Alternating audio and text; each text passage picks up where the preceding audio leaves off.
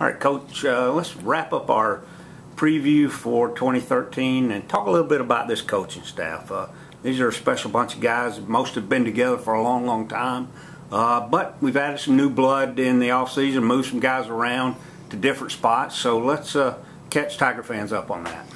Uh, let's start off on the defensive side of the ball with Coach Robert Bear Henry. That's our defensive coordinator, and he also handles our strength program. Does a phenomenal job.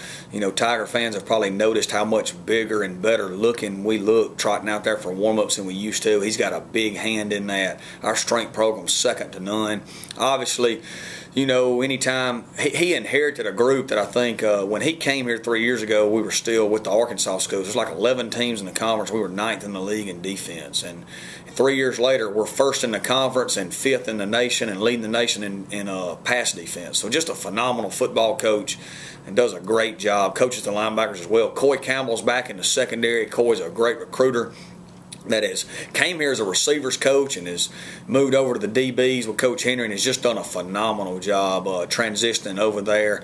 Led the nation in pass efficiency defense last year. So what can you say? Uh, you know he's got a lot of newcomers coming in, but he's got a lot of talent, and we feel confident that uh, he's going to be able to get that done. Brought a new defensive line coach in by the name of Carlton Hall. Carlton's got a ton of experience, played at Vanderbilt, has been at Houston the last two years, coached at Harvard and Columbia, and is just an extremely intelligent guy with a great head on his shoulders. We really, really feel like he's going to bring a lot to the table as far as a coach and a recruiter. Uh, our kids already really like him, and uh, just a, just a great addition to our staff. Also on defense, we have Irvin Jackson as a graduate assistant that helps with the D line, and Brandon Walker as a graduate assistant that helps with the DBs, and they do a great job working hard and uh, really bring a lot to the table over there. On offense, Sam Gregg's our offensive coordinator and offensive line coach. Sam and I have been together. I think this is our 10th year now. Just does a phenomenal job. Uh, you know, I get a ton of credit for what happens on offense, and it's really not fair. Sam just does a phenomenal job. Uh, really, really doesn't get the credit that he deserves developing our front and our run game and uh, you know play action passes. Just does a great job.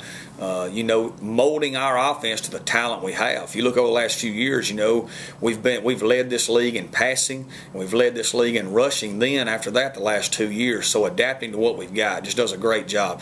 Desmond Lindsey's our assistant head coach, recruiting coordinator, and receivers coach. We've been together for several years now.